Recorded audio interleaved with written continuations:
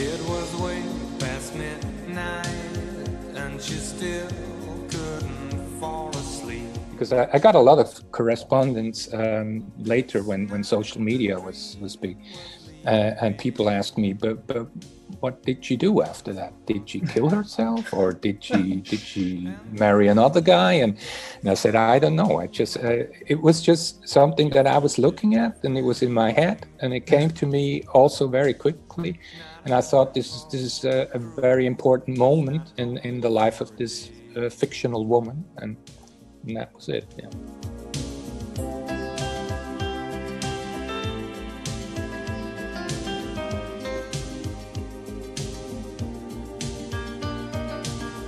Too long ago, too long apart.